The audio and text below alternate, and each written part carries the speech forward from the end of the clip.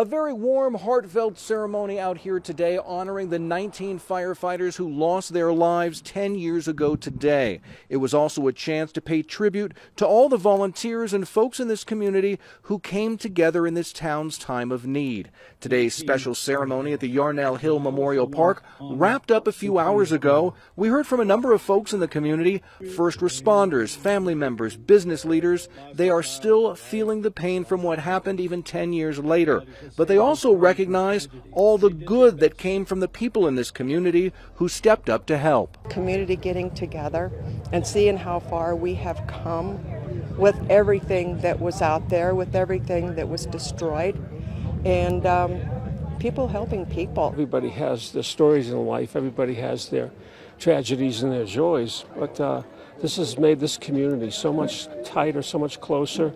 We go to fundraisers and parties and meetings or whatever, and you know almost everybody. The Yarnell Hill Memorial Park officially opened in 2021 with the help of volunteers and a lot of donations. They've done their best to keep it open and accessible, but today the park was officially handed over to the State Parks Department. The idea is that they can ensure the park will remain open and accessible for decades to come. In Yarnell, Jason Berry for Arizona's Family.